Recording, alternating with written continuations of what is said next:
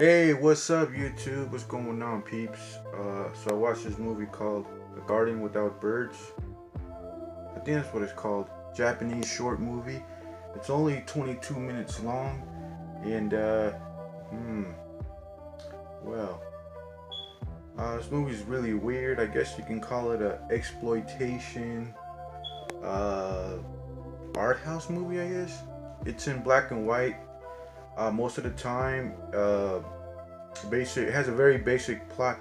The plot actually it's kind of like the plot of Angels of Melancholy, Melancholia. Um, because if you know the plot to that movie, it's sort of the same plot. Um, but in this movie, the only difference is, um, well, of course, this is a short movie. It's not two hours and fucking thirty minutes long.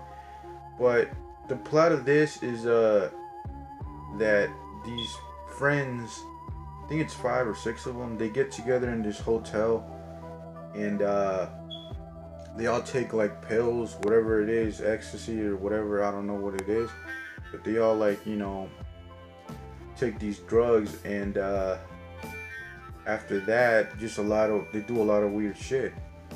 And that's kind of like what Angels of Melancholy is, if you think about it. I mean, I think that's what the plot was for that but there was probably there was more to the story, I guess. But of course, that's a way crazier movie than this.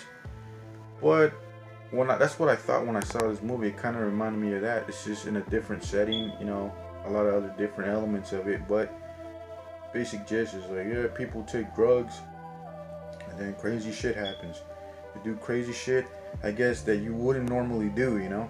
Um, but yeah, man, um, some of the gore in here this movie, I'm gonna tell you right now, it it's one of those movies you're like, well, they're trying to shock, but it trying to shock the viewer, but it, it really, um, I feel like, um, there's like one scene that kind of was like, whoa, it was kind of gruesome, but the the the special effects on this are very bad. Um, I'm gonna tell you right now, the effects are really bad. This is a very low budget movie, but they did really do some creative stuff with it. I mean, I'm not gonna totally hate on it. Um, it's not one of the best like gore movies I've seen. Um, but you know, for what they did, for what they had to work with, it was all right. I mean, and it's only 22 minutes long, so it's not like you're, you know, you're wasting all that time, and, and it's not gonna drag a lot. So, and that was the reason why I watched it because it was only 22 minutes long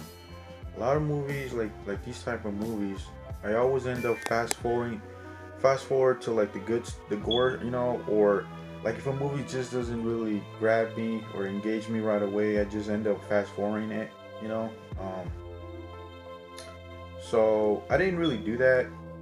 This movie even though this movie was 22 minutes long it still kind of dragged in the middle um at parts but uh, i don't know I just feel like this movie they were trying too hard, you know, and you know, it was a decent effort. I mean, and there is some stuff in here that I hadn't seen in any other like exploitation movie, uh, but not really that original. I mean, there was some original scenes in here, but mm, none that you really haven't seen in other movies.